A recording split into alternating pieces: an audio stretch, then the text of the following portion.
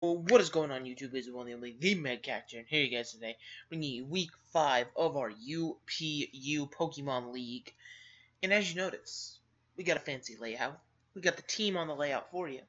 And we got my ugly ass face, oh, did not mean to swear, ugly butt face up here in the corner, chilling like a villain, a. But, um, yeah, we're chilling here. We got this lovely layout courtesy of its ShadowLink great graphic designer. He'll never admit it, but he is great. And um, this is going to be our layouts from now on. We'll have the team here. We'll have everything, and we'll try to do these all nice and official unless I'm really in a bad mood. So if you guys do enjoy the league battles here, don't forget to hit that like button, comment a comment if you so choose, and of course subscribe if you're new here to not miss out on any lovely, lovely content. But without further ado, our week 5 battle is against Andrew, coach of the. Oh no, this is David, I believe. It's one of the two. Um, coach of.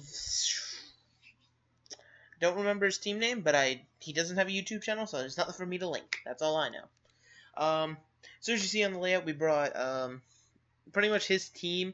Um, I could go and find the doc and list all 11 mons. This is exactly what I expected him to bring outside of the Crobat. Uh, I believe instead of Crobat, I was thinking he'd bring some other poison type he had. I think he had like uh, Skuntank or something. I don't know. But um, there was, but pretty much this is what I was expecting. So we got lucky in that regard. But uh, we ourselves brought Leavanny, Metaga, Metagross, Cryogonal, Snorlax, Florges, and Rotom Fan, all with some lovely, lovely sets. So without further ado, let's get into the replay. And I'm going to start trying to do these live. I'm going to start trying.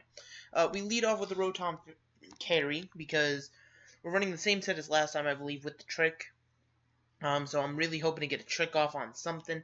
And the way I saw it by with my lead, um, there was really no lead I could predict on his end with no hazards or anything. So my best bet was to just go into that and just trick right away, get an item onto something. But unfortunately, I am an idiot, and I decided to try to trick a Z-move user. However, that does tell us the Z-move, so we are able to play around that. Oh wait, it actually shows up. See, on my show, because here's the thing. I didn't make the names. I actually had one of my friends make the names. And on Showdown, the um, eggplant emojis for me were just boxes. And he then told me later they were eggplant emojis. So I didn't think I had to worry about it, but yeah, eggplant emojis. So, but so basically in this turn we do decide to go to Snorlaxes. he is the special wall of the team, and we do live Thunderbolts rather well. Um, he swaps out using U-turn, goes into the Hoopa, which obviously gets us straight into Mommy, because we're like, why the heck, why not? Because we can X-Scissor away on this thing, and then from there we can set up sticky webs, uh, predicting a swap, and I'm pretty sure that's exactly what we did. Oh, oh no, we did X-Scissor. Hmm. I thought we set up sticky webs. See, I don't remember the replays, unfortunately. Uh, goes the Sludge Bomb, which we did predict. Luckily, we do get our Mega off right then and there. But he Heat Waves, which actually catches us off guard.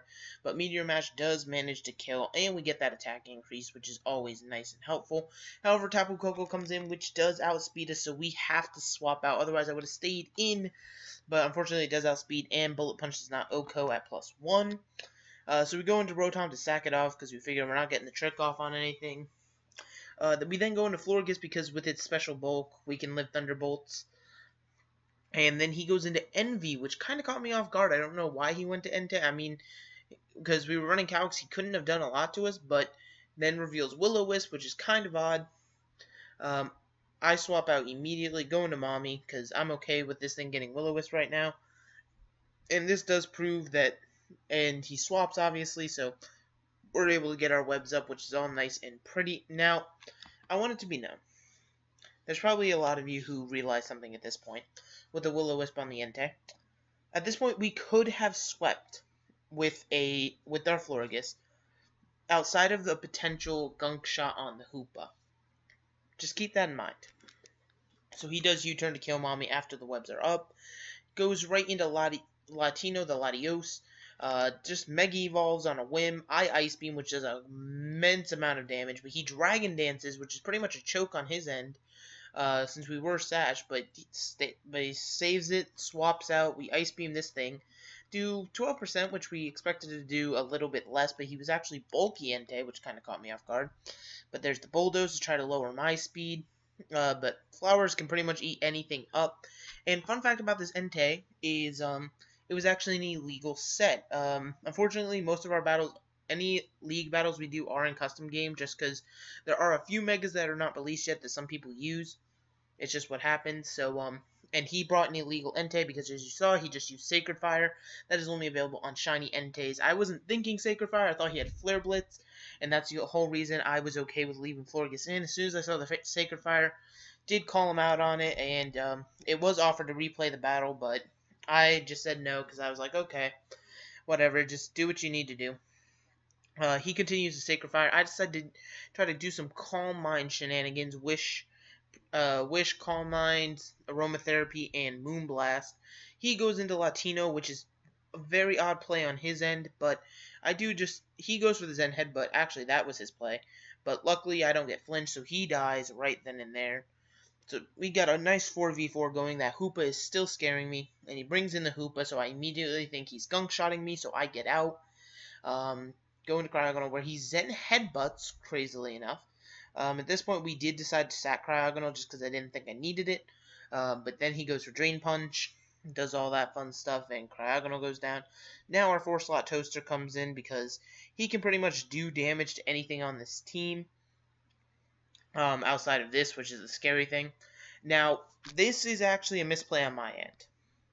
Um, if you did not know, most of these battles I do, I am sitting in a call with my good friend Danny. He helps me run calcs, he helps me reassure, and figure out the best move to do. I did not wait for the calcs to be done. And I saw the damage of 43.4, and I was like, okay, Metagross should kill. Because I was at plus one, and I didn't take into fact he had leftovers. If he did not have leftovers, as you see, he would have died. However, I did not take that into account like an idiot, and he proceeds to Earth Power and blow our Mega Metagross into the ground. So now we have a 4v2. Things are looking kind of desperate. We still have our Snorlax, which gets the Snorlium... No, not Snorlium Z. Z Happy Hour, which gets 1 plus 1 in every single stat, which does help us out. But he just decides to shore up, which kind of questioned it, but I just crunch. Somehow does not kill him, but we do get the defense drop, and he goes for Toxic. The one week I don't run immunity, he goes for Toxic. Rip me. But so we still do have this Snorlax, and I'm not done with Snorlax just yet. I'm not trying to let him die or anything. Uh, I do believe the Entei still outspeeds us. Nope.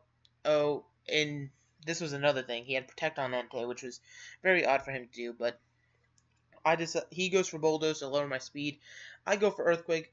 Doesn't know him, unfortunately. Now, I do predict the Protect here, and I decide that Snorlax is still of use to us as fodder, so I go into Flowers, or Florges.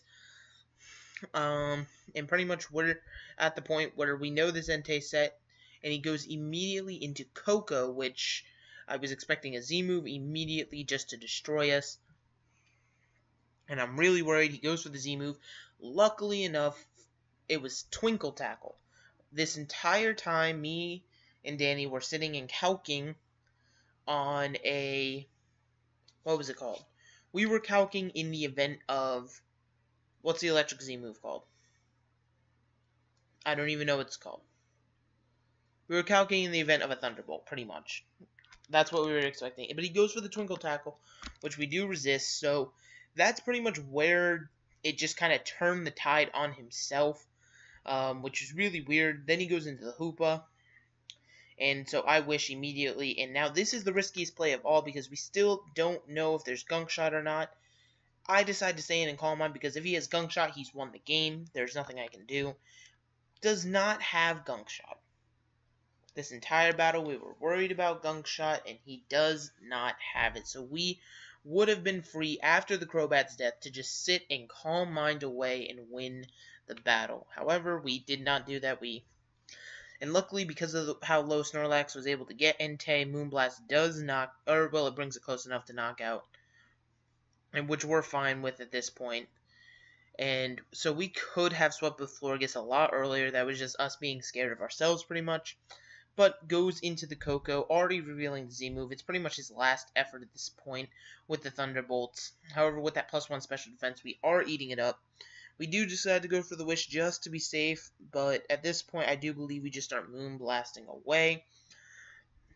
And look at that, does a amazing smack ton of damage.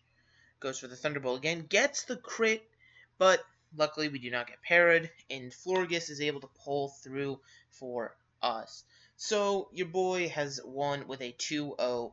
Florges could have swept so long ago, but we were scared of a gunk shot. We were so scared of a gunk shot.